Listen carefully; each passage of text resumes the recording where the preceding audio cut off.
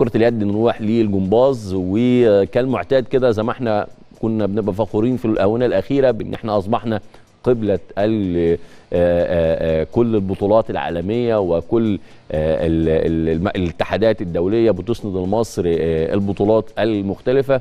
عندنا في اتحاد الجمباز بيعقد مؤتمر صحفي بكرة للإعلان عن تفاصيل استضافة منافسات بطولة كأس العالم البطولة هتقام خلال الفترة من 4 وحتى 7 يونيو المقبل وهتشهد مشاركة 25 منتخب.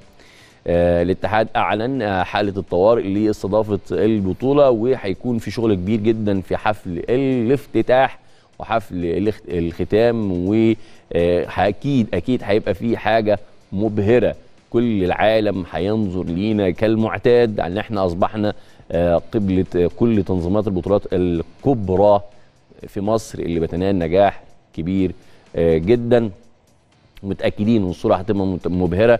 متأكدين إن إن شاء الله بيبقى معانا يعني إنجاز كبير قوي كمان باستضافتنا ل استضافتنا في هذه البطولة. أجواء بتختلف. للاعب نفسه إنه يقدر يعطي الكثير في بطولة عشان البطولة في أجواء مصرية.